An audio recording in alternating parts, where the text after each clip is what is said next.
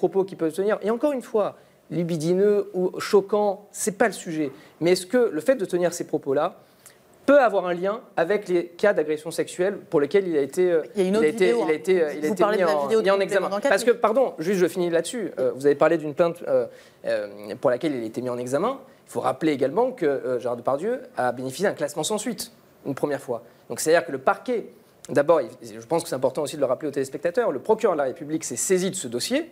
Alors après, c'est toujours facile de dire, mais non, mais le procureur République n'a pas fait son travail. Peut-être, mais en tout cas, le parquet s'est saisi de ce dossier, a mené une enquête préliminaire et a décidé de classer sans suite. Pourquoi? Parce qu'il estimait que les éléments qui étaient portés à sa connaissance n'étaient pas suffisamment caractérisés. Mais pour la même affaire, l'enquête a été réouverte. Et pour, la, et pour même affaire, il y a Donc- une plainte avec constitution de partie civile pour laquelle il a été mis en examen, c'est-à-dire que le juge d'instruction a considéré qu'il Qu'il y avait des s'agissait- indices graves et concordants pour le mettre en examen, mais il est s'agissait- présumé innocent. s'agissait La Chambre de l'instruction a confirmé cette mise en examen. Je pense que c'est bien de le dire à ceux- celles Mhm. et ceux qui nous regardent. Je voudrais parler d'une autre vidéo qu'on a publiée dans Mediapart qui a eu moins d'écho, mais qui est importante parce que vous dites c'est juste de la parole dans complément d'enquête, dans cette vidéo en Corée du Nord.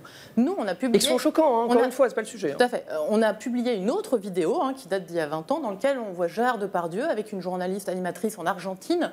Euh, cette vidéo, elle est euh, complètement choquante parce que toutes les trois secondes, il va l'embrasser par surprise ou de force, hein, euh, une dizaine de fois dans le dos, la nuque, le bras, le, le cou.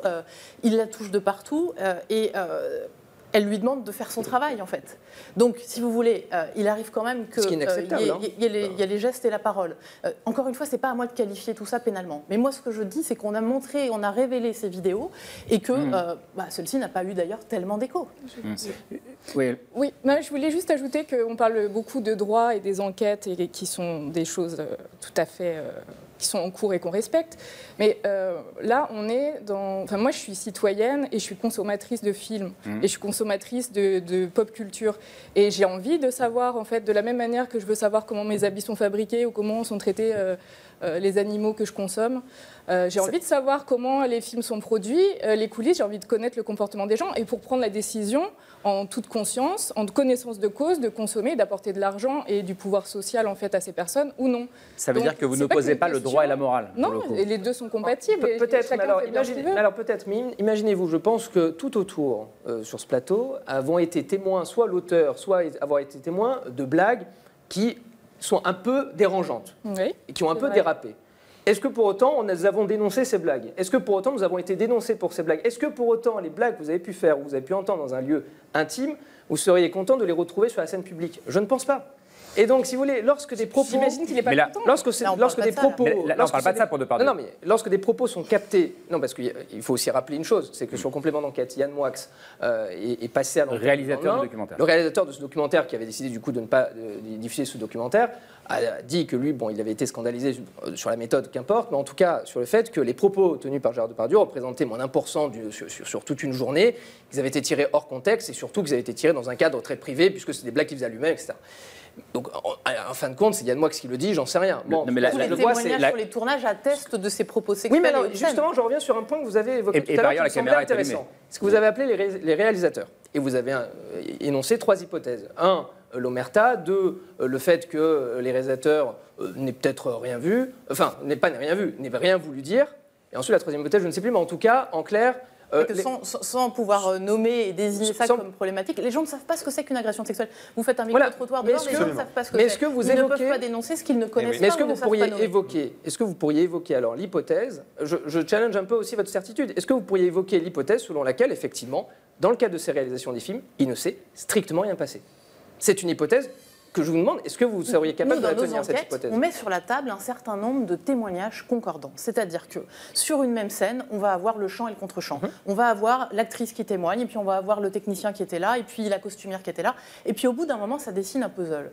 Euh, on va prendre une autre scène, on va faire le même travail. Et au bout d'un moment, on a une vingtaine de témoignages. Mhm. Moi, je prétends pas euh, détenir une vérité judiciaire. Je suis journaliste, j'apporte à la connaissance du public des informations qui ont été recoupées.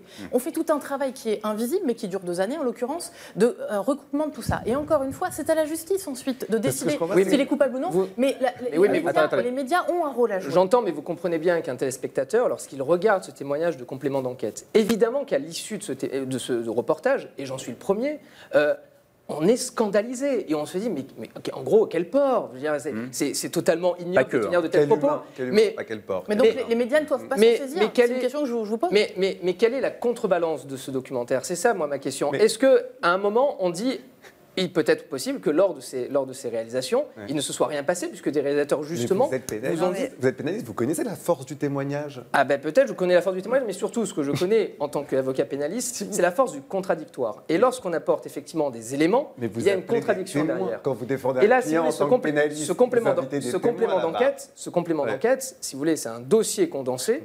C'est un dossier condensé qu'on peut donner à un tribunal.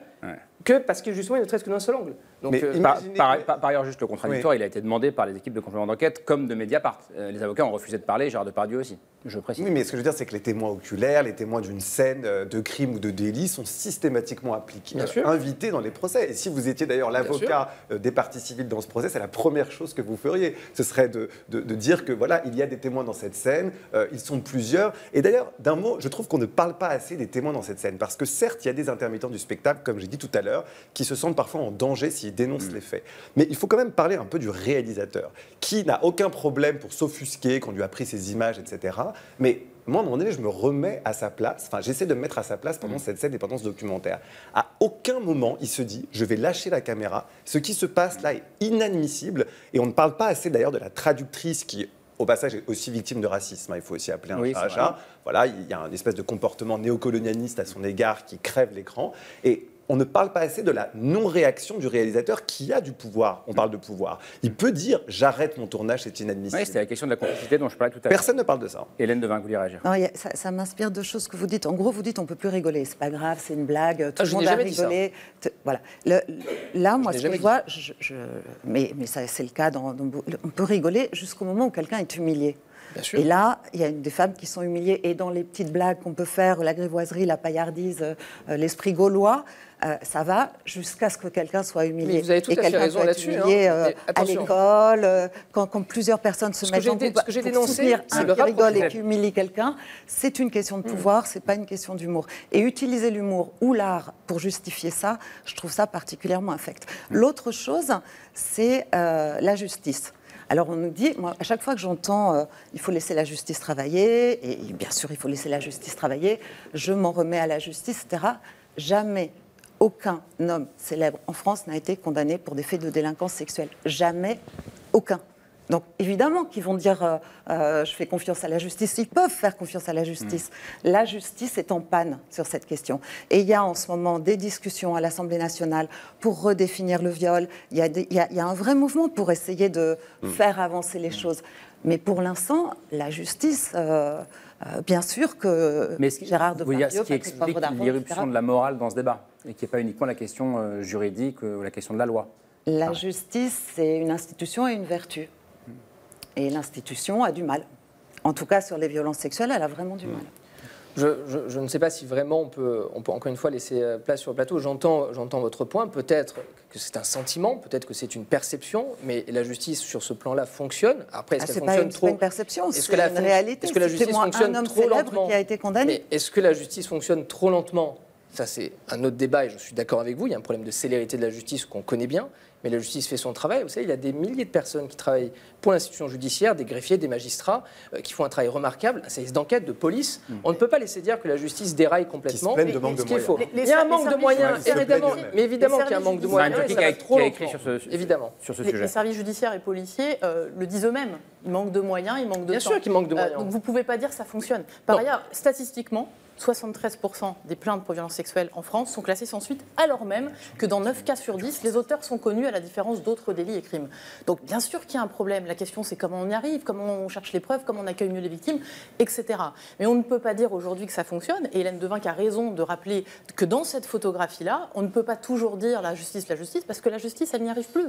Aujourd'hui, si tout le monde porte plainte, moi, si tous les témoignages que j'ai reçus sur Depardieu se traduisent en plainte, et si c'est ça dans toutes les affaires, vous comprenez bien que c'est intenable, en fait.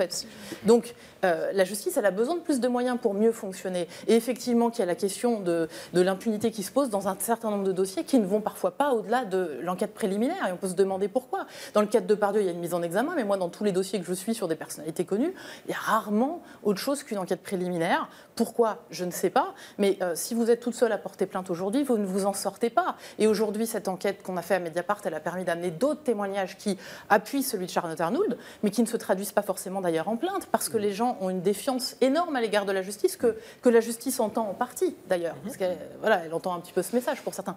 Le procureur François Molins euh, l'a dit dans mon livre, il expliquait il y a des dysfonctionnements à la chaîne, on s'emploie à les corriger. Donc on ne peut pas dire aujourd'hui que la justice elle-même dit que ça ne dysfonctionne pas.